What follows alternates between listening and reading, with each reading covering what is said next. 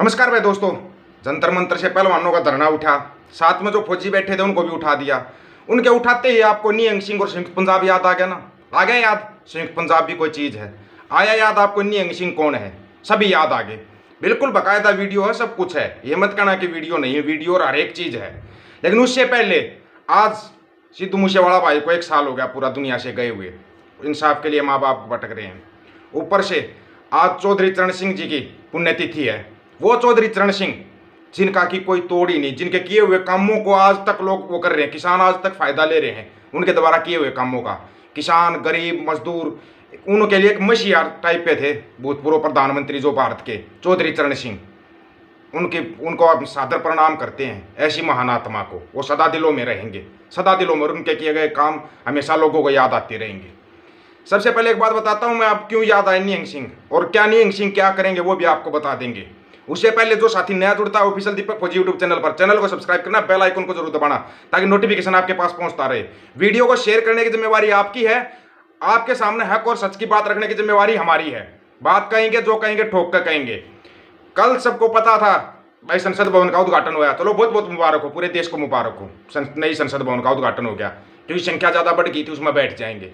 मान लिए बात। लेकिन उससे 500 मीटर तो आज एक किलोमीटर दूरी लगा लो पहलवानों को, उन पहलवानों को जो इंटरनेशनल जो ओलंपिक के मेडलिस्ट जो वर्ल्ड चैंपियनशिप के मेडलिस्ट जो एशियन मेडलिस्ट एशियाड के गोल्ड मेडलिस्ट उनको रोड के ऊपर बुरी तरीके से दिल्ली पुलिस के द्वारा इधर से उधर किया जा रहा था, सबको पता जो हुआ है बहुत सबको देखा सबने वो। सबने देखा, उसके बाद उससे थोड़ी दूर पर ही एक्स सर्विसमैन फौजी बैठे हुए थे। उन फौजियों का भी टेंट टेंट सब कुछ उठा के उनको भी चलता कर दिया। उनको भी चलता कर दिया। तानाशाही की पहली शुरुआत। जैसे ही तानाशाही हुई, वैसे ही नियंग सिंह याद आ गए लोगों को कि यहाँ पे नियंग सिंह होने चाहिए। क्यों भाई? क्यों होने चाहिए? पहले सवाल का जवाब देना, नियंग सिंह कितने महीनों से मोर्चा लगा के बैठे मोहाली के अंदर? गए क्या? तुम्हारे किसानों के ठेकेदार और हाँ आ जाओ तुम्हारे इनिशी के ऊपर आ जाते हैं, जो किसान, जो महिला महापंचायत के लिए बोल बोलिया था। एक भी नेता ऐसा बता दो जिसके पास पुलिस अधिकारियों के नंबर नहीं होंगे। आपका एक भी किसान नेता, किसी संगठन का नेता, हर एक के पास पुलिस अधिकारियों के नंबर है। फिर वो अरेस्ट हो गए। फिर वो अरेस्ट हो गए। यार, कहीं तो दिमाग को यूज़ कर लो। कहीं तो दिमाग का इस्तेमाल कर लिया करो। इतने दिन से बोल रहे थे, वहाँ महिला पंच करेंगे। और स्पेशल अट्ठाईस मई को ही चुना जा रहा है। तब भी नहीं समझे। बोले, था ना, यहीं पे चूक होगी है। जंतर मंत्र के धरने की चूक यहीं पे हो ली है। पहलवान अगर अगवाई करते तो ठीक रहता। लेकिन पहलवानों ने सोचा ही नहीं कि राजनीति चलते कैसे है। ये सोचा ही नहीं कभी पहलवानों ने। राजनीति चलती कैसे? राजनीति ऐसे चलती है। ऐसे चलती राजनीति। रोड के ऊपर पहलवाना इब्रान मट्टी हो रही थी। लोग, चलो, पोस्ट, हमने भी पोस्ट डाल ली थी भाई। बुरा लग रहा था, इसलिए डाल ली थी पोस्ट। बुरा लग रहा था, देश की आन बान शान है वो पहलवान, जिनको रोड के ऊपर से ऐसे घसीटा जा रहा था। ऐसे घसीटा जा रहा था, हमारे को बुरा लग रहा था। लेकिन हुआ किसके कारण, ये पता लगाया आपने? हुआ किसके कारण? किसके कारण हुआ भाई? ये बताओ आप। उसके बाद, अब आते हैं, क्यों क्यों कनेक्शन आता है? संयुक्त पंजाब का कनेक्शन क्यों आता है? जंतर मंतर धरने आपको बताएँगे। बताएँगे नहीं, आपको दिखा भी सकते हैं बकायदा, दिखा सकते हैं आपको बकायदा कि ये किया क्या था। जिसके ऊपर आरोप लगाया जा रहा है, ब्रजभूषण साहब, कुश्ती संघ के अध्यक्ष साहब, क्या कह रहे हैं? पहलवानों के धरणों का है खालिस्तानी कनेक्शन शाबाश। है ना बल्ले बल्ले? क्यों आए क्यों आए अगर नियंग सिंह वहाँ पर जा रहे होते तो पक्की मोर लगा देते ये, कि हाँ इनका खालिस्तानी कनेक्शन है। पक्की मोर लगा देते पहलवानों के धरने का खालिस्तानी कनेक्शन साजिश में पाकिस्तान का भी हाथ है। शाबाश। भारत के लिए मेडल लेकर आने वाले, तिरंगे को शान से विदेशों में लहराने वाले, उनका खालिस्तान और पाकिस्तान से कनेक्शन बता दिया और मीडिया बड़े चाव से दिखा रही है। और ये है भी कौन दिखाने वाला? छी न्यूज़ पता नहीं क्या, इनका तो नाम लेना भी बुरा है।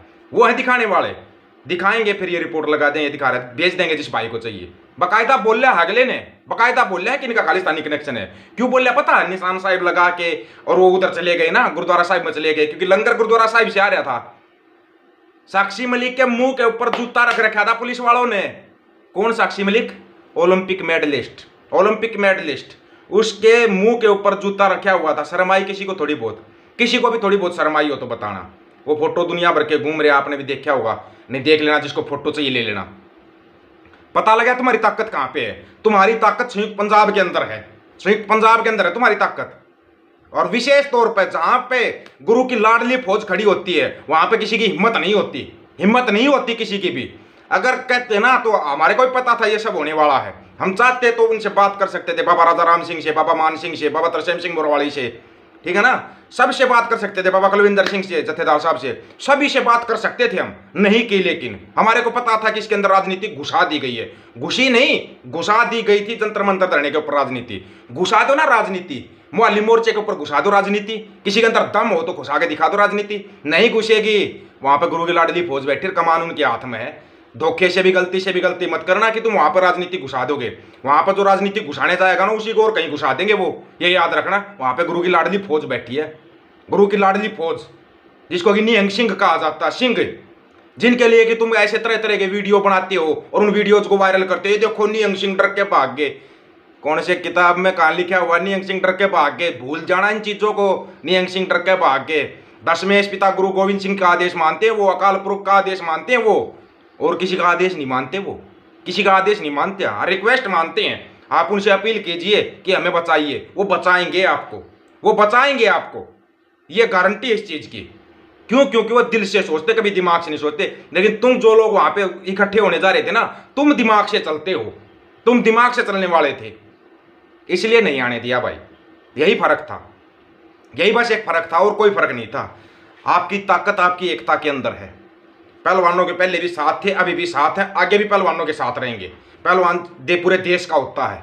जो हम एक नेता ना पूरा देश बनाते हो ना, लेकिन पहलवान सच में पूरे देश का होता है। तिरंगे को शान से लहराया था उन्होंने, विदेशी धरती है वही तिरंगा पैरों के तले नीचे रोक दिया।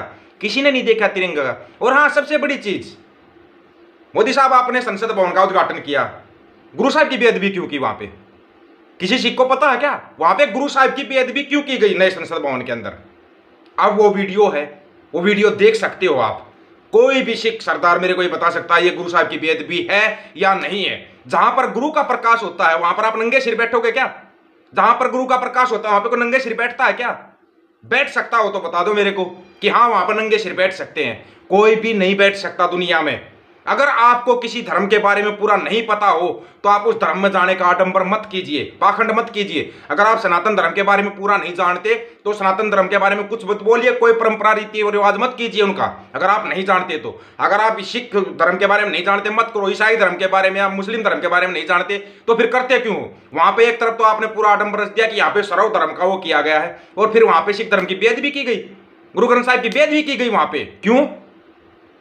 गुरु का प्रकाश हो रहा है और वहाँ पे सब नंगे सिर बैठे हैं। ड्रामा किया जा रहा है पूरे टीके टक्के लगा के। क्यों भाई? है क्या चलन ये? सिक्की के अंदर ये चलन नहीं है? कि आप खुले सिर गुरु का प्रकाश कीजिए। नहीं है। ये चीज़ हम लिख के दे सकते हैं, नहीं है सिक्की के अंदर। फिर ये सब क्यों हुआ? वो वीडियो है, वीडियो नहीं डाल रहे हम, इसलिए नहीं डाल रहे। क्योंकि ये सब हो रहा है। नहीं डाला जा रहा है वो वीडियो। जिसकी समझ में है ना, वीडियो चाहिए, आप वीडियो ले लेना भाई, जिस भाई को चाहिए वीडियो दे देंगे। आप आराम से देखना, ये गुरु साहब की बेद भी है या नहीं है, बता देना आप खुद सोच के। देख लेना खुद। सभी साथियों से एक रिक्वेस्ट रहेगी, वीडियो ज़्यादा से ज़्यादा शेयर कर देना भाई। अगर आप नियंग सिंह को से इतना वो करना नियंग सिंह चाहिए ना आपको आपके आंदोलन के अंदर। तेरह महीने तक बॉर्डर पर बैठ गए थे, वो किसी की हिम्मत नहीं थी ऐसे उठाने की। तेरह महीने पूरे बॉर्डर के ऊपर निकाल दिए थे, उनके पास कोई ज़मीन जायदाद नहीं है। जब उन्होंने मोर्चा लगाया तो कितने गए वहाँ पे? मुआलिम मोर्चे का कितनों ने समर्थन किया? सीधी बात है यहाँ पे। बिल्कुल सीधी, स्पष्ट बात। कितने गए भाई वहाँ पे? पहले मोहाली मोर्चे बताओ वहाँ पे समर्थन दो, वहाँ पे जाओ ना अपने जत्थे लेके। आपको बोल था, जब सरपंचों का आंदोलन चलता तब बोला था ना कि मोहाली मोर्चे चले जाना, वहाँ पे नहीं सिंह बैठे हुए। उठा दिया सरपंचों को, कहीं आता पता है सरपंचों का? कहीं जेबीटी वालों का आता पता है? ऐसे थोड़े दिन में, पहलवानों का आता पता नहीं मिलेगा, फिर कोई नया ड्रामा शुरू हो जाएगा। मोहल्ली मोर्चे को मज़बूत कीजिए आप। अगर आप सच में कुछ चाहते हैं तो। ये बता दिया आपको। सभी साथियों को राम राम, नमस्कार, आदाब, सत श्रीकाल वीडियो को ज़्यादा से ज़्यादा शेयर चैनल को सब्सक्राइब और बेल आइकन को ज़रूर बढ़ाना दोस्तों, ताकि नोटिफिकेशन आपके पास पहुँचता रहे। Official Deepak Fauji YouTube channel बात, हक और सच की की जाएगी, करते रहेंगे। वाहे गुरु जी का खालसा वाहे गुरु जी की फतेह।